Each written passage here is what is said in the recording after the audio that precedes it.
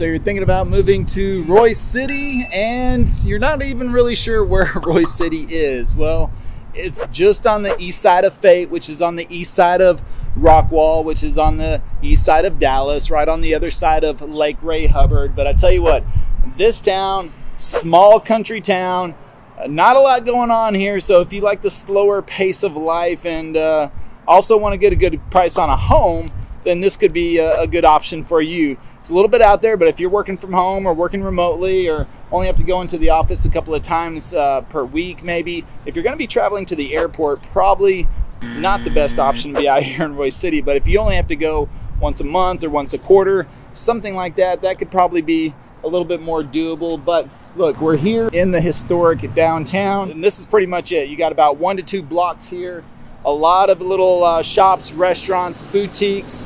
Uh, you got a beer garden. You've got uh, uh Beauty and the Beard, uh, so you can get your haircut over here as well. You got a little home boutique right there. You've got a little farmer's market. You got an ice cream shop. Uh, you've got, and of course, like I said, the beer garden, the most important. so that's going on right there. You got Italian cafe right down there. Just, but this is the main strip. This is what you're going to find in Royse City. Population uh, between 15, 20,000 right now, and that has quadrupled in the last 10, 15, uh, 20 years. Used to be about 2,000, I think early 2000. And so now it's getting up there quite a bit. Of course, all these areas outside of Dallas are blowing up. Uh, people are moving here from California, New York, Illinois, Washington State.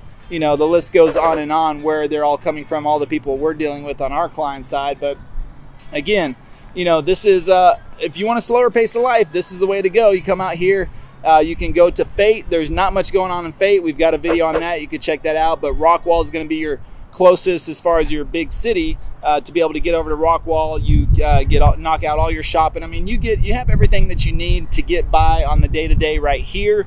But again, uh, if you really want to get to go to the lake, first of all, lake's not too far from here, so that's that's pretty good. Uh, but otherwise, if you want some land, uh, you find some land out here, but otherwise you're going to get uh, new construction likely unless you're going to find a much older home. It's kind of one or the other.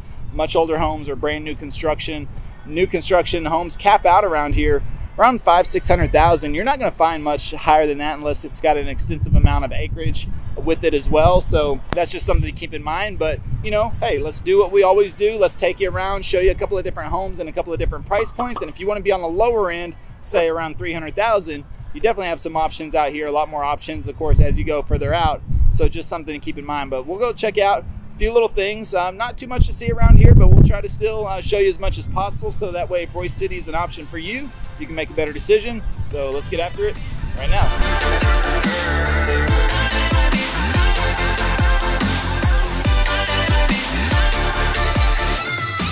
So we're at our first stop here in Royse City, and we're coming up on this house right here, which is listed at 385,000. It's four bedroom, three bath, 2,590 square feet. So that's going to put the price per square foot right around $150 a square foot. Uh, it's built in 2003, and you know, pretty pretty good shape. Move in ready. Now, if you want to upgrade or make some changes, that would be up to you. But otherwise, Looks like it's ready to get moved into. Community seems uh, nice around here. Now, here's the deal. Uh, we've talked about this with HOAs. This community does not have an HOA. So therefore, uh, if you don't have HOAs, we get a lot of questions. I know that I think in other areas or other states, people tend to not like HOAs because we always get questions about them. But I think if you're in a residential neighborhood, they're very beneficial. They're great for resale because they're going to keep things like that out of the street, out of the driveways. Now, hey, good looking boat. It looks like it's functional. Uh, doesn't really bother me if I lived in this area, but if it's set there and got in disrepair, you know, started to rot, all that other good stuff, then it could be a problem, you know. But otherwise, most people don't want to look at boats hanging out in the community or, you know, there you got some dead branches on the ground. Don't know how long they've been there, but something like an HOA would probably come by and ask you to pick that up at least. Otherwise, with no HOA, they'll could sit out here forever. Um, they could chop down the whole tree and leave it on their front yard. And if nobody's here to ask them to remove it, then they can do that. So that will, if there's no HOA and you have a neighbor that allows their house to just, you know, go uh, go to the wayside, you could say, and not willing to clean it up or fix it up, that's going to hurt you on resale value. So it's just something to keep in mind. But the thing is, is that in an HOA and again in residential communities, now I'm not a big fan of them in condo communities. Uh, or townhomes because of the shared walls or the shared roofs or things like that. You can easily get assessed and charged a lot of money if something goes wrong.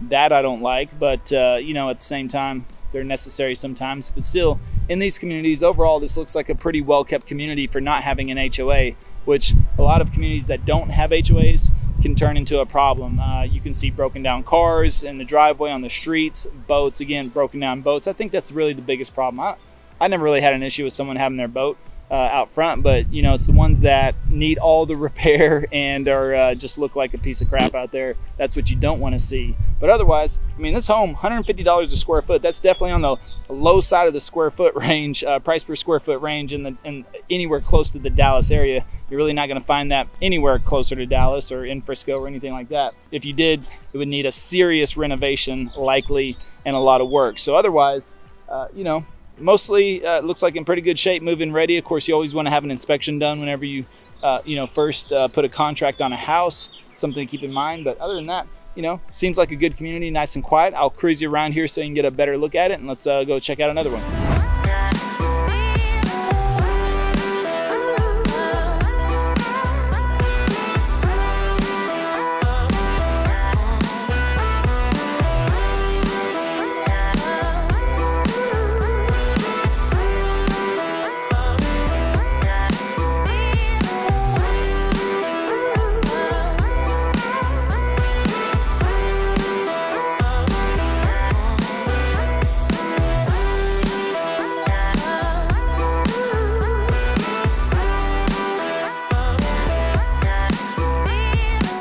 All right, so we're coming up on our next stop here in Royse City, and you can kind of see that home right there. Just completed. It's available right now. It's a four bedroom, two bath. It's listed right at 398,000. It's right around um, 1,800 square feet or so, and looks really nice. Uh, I just missed the cutoff though. Uh, it's just past six, and they just closed the office at six. So I wanted to take you inside, but otherwise, you know, you can see this again They've got a couple of new construction homes left, but otherwise, most of this community is completed out. Uh, and there's still other opportunities going on here in Royse City uh, because there's a lot there's a lot happening here and a lot of growth a lot of opportunity so you know the thing is is that people are coming a little bit further out as well again just to kind of try to cut down on those prices. But yeah, 398,000, almost 2,000 square feet. Uh, the price per square foot should be around $190 or so, but four bedroom, two and a half bath, not too bad. You know, two car garage, brand new construction. And so uh, you can see here, mostly completed out. Uh, you know, newly planted trees, this whole community built within the last year or so. We actually helped a client uh, secure a house in this neighborhood as well, uh, which is always a, a, cool thing to do. And, you know, it's just uh, it's nice, you know. But again, out and about, not a lot going on around here. Super quiet, super slow. So if that's something you're looking for, then this is a good spot. If that's not what you're looking for, you definitely want to be a little bit closer into town, maybe Rockwall, maybe even Dallas, or if you want to get up there to Frisco. I mean, this this whole east side of Dallas or out east of Dallas is just a whole completely different vibe. You still get a lot of that country feel. Uh, you know, a lot of land out here lake life uh, it's just it's just different on this side of it compared to up north. Up north is you know frisco plano Celina prosper all that is hustle and bustle growth growth growth uh, nonstop. This you still can find some land some opportunity out here and uh, a kind of a slower pace of life you know? And everything is moving up north but everything will be moving out here east as well. It's just uh, not as popular right now. It is, uh, it is kind of, but I would say it's not people's first questions whenever, or uh, you know, that's not the first cities they want to see when they. Most everybody's always talking about Plano, Frisco, Prosper. You know, when they call us initially. Uh, once you know, depending on their price range, if they're getting priced out of those areas, or inventory is just not really that available. We've had uh, helped a lot of great families secure homes over here in the Rockwall Heath, uh, Fate, Royse City, all those areas, uh, which we got videos on all those areas. You should definitely check those out if you're researching this east side of Dallas. But it's a great area. Again, just a little bit slower pace of life, but that's all good for those that are looking for it. You know, but what it comes down to is whether you're moving in nine days or 90 days, you know, feel free to give us a call, shoot us a text, send us an email. Happy to help you make a smooth move to Dallas. And until next time, well, we hope to show you around town.